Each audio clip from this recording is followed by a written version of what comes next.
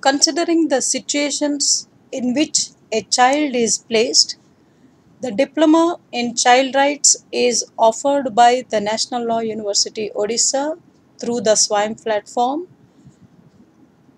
And the course structure includes child and development wherein the distinction is made with regard to the birth of a child, birth of a child into the family, and many other aspects are dealt here. Then another course it deals with the child rights advocacy.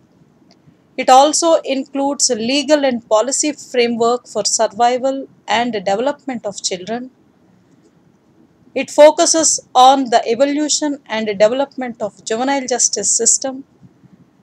It also discusses about the children in difficult circumstances and also the liberty and safety of children.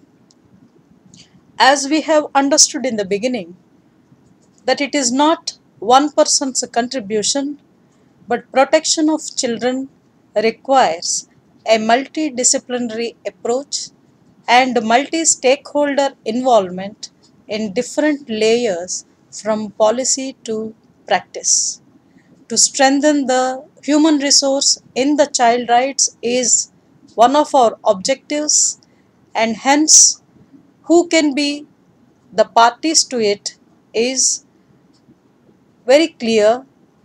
Any person, he can be a student, a paralegal, a professional, an advocate, or the advocacy groups, grassroots workers, academicians, and NGOs.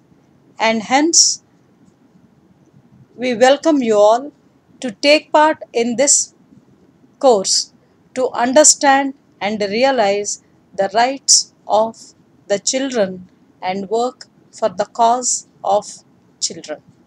Thank you.